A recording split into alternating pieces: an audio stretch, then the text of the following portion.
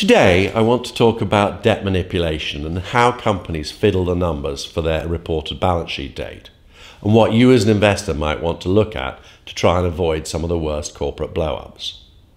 But before we go on, I must remind you that under Hong Kong SFC regulations, we're not allowed to make recommendations, and none of what follows should be considered to be investment advice. However, if you do want to avoid those problems, you might want to bear some of the following in mind. The first thing to bear in mind is that the reported balance sheet only has to be valid for that moment on that day. It doesn't have to reflect the normal or typical balance sheet.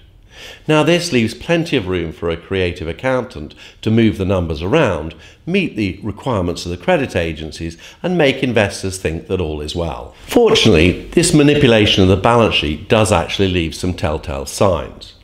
The most obvious one is excessive debt raising and repayment. Now, this happens because most companies try and match up their assets to their liabilities. So imagine you're buying a building, you borrow long term. You're trying to pre fund a bit of inventory prior to Christmas, you use an overdraft. The problem a debt manipulator has is in order to construct a balance sheet that they require just before reporting dates, they are constantly raising and repaying their debt, which makes their debt churn much, much higher than it would naturally be. The second thing we look for is unnaturally low receivables.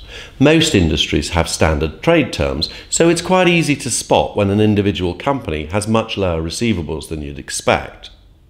The easiest way a company can cut its receivables is to incentivize its customers to pay early. Now, this is quite good because although it cuts gross margins, it doesn't appear as a finance cost. Alternatively, you can go along to the bank and factor your invoices. This has two great benefits. First, disclosure requirements are limited, and second, the embedded interest charge can actually be booked as a fee. Thereby, you reduce your debt and you lift your interest cover. The next thing we look at is inventory levels. Again, there are industry norms, so anybody who's got a much lower level of inventory than you expect should be checked.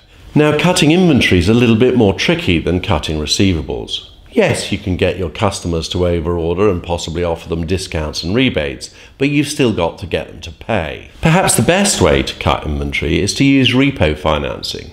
What this is, is a situation where you get a counterparty like a bank or a subcontractor to buy your inventory off you over the reporting date, thereby generating cash, under an agreement that you will buy it back two days later. This again is very useful because the disclosure requirements are very limited. The final thing to look at, both working capital and on a long term basis, is extending your liabilities. Now, not paying your bills is really simple, but tends to annoy your suppliers and lead to disruption if you carry on doing it over time. One solution to this is to use what people are terming reverse factoring. This is where you take along the invoices that you need to pay, go to the bank and get them to pay for it instead using a facility. Now, this is great because the suppliers get paid, but if the facility gets removed, tends to blow up the company. These are just some of the most popular methods used by companies to distort the reported net debt figure. The problem is, this hides from investors what's really going on and often leads to misvaluation. This is why at Bucephalus we use a Bucephalus fully aggregated enterprise value rather than what we consider to be a somewhat naive net debt and enterprise value. Now, these are a few of our findings. If you'd like to know more, please visit our website or send us an email. Alternatively, to keep up to date with our research, click on the links. Thank you very much for your time.